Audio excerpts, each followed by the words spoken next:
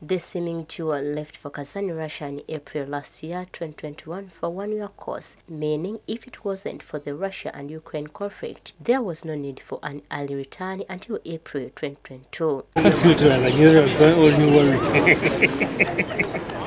However, due to various sanctions imposed on Russia by various nations, FINA thought it was necessary to let swimmers leave before it's too late.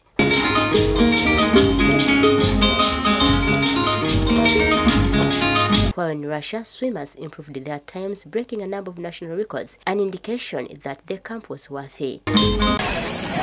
What's wrong with you? Why are you doing? At 17 years, Chirabo holds five national records in 50 meters freestyle, 50 meters butterfly, 50 meters backstroke, 50 meters breaststroke, and 100 meters medley. Tendo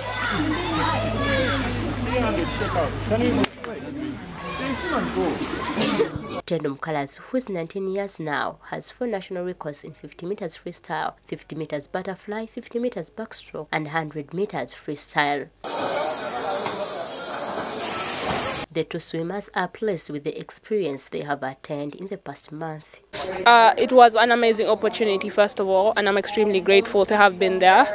It has been an eye opener in terms of different aspects of my swimming career, in terms of training, um, in and out of the water, in terms of nutrition, in terms of hydration, sleep, and everything it takes to get to be a world class athlete.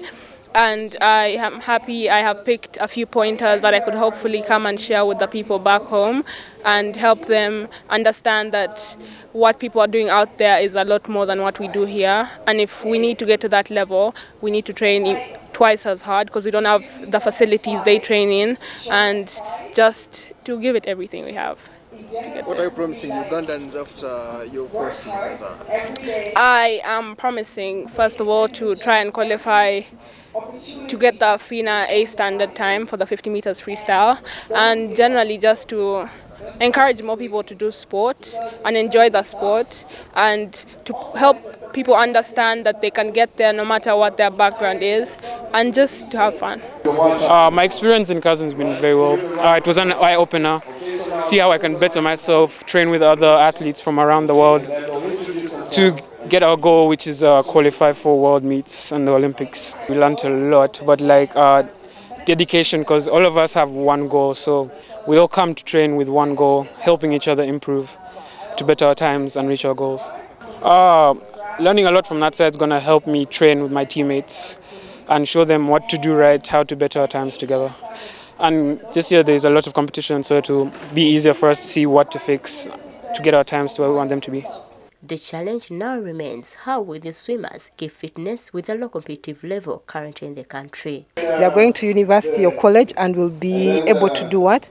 To continue with, uh, to be able to perform well in uh, school and also in their swimming. So I'm looking at colleges and uh, universities that can be able to push them to their highest potential. So the best offer that I'll get is where they'll be able to settle in. We are, we are happy to see that this program has extended their improvements to that level.